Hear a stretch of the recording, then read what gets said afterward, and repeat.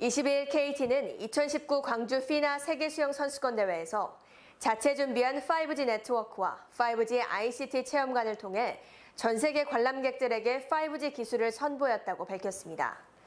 KT는 대회가 진행되는 경기장 내외부를 비롯해 주변 행사장과 선수촌 아파트, 5G ICT 체험관 등의 5G 통신망을 구축했습니다. 이에 따라 대회 기간 중 KT 고객들이 안정적으로 5G 서비스를 이용할 수 있도록 했습니다. 남부대 마켓스트리트 내 운영 중인 KT 5G ICT 체험관에는 20일 개회 후 약 10일간 약 18,000여 명의 전 세계 관람객들이 몰려 대한민국의 5G 기술력을 체험하기도 했습니다.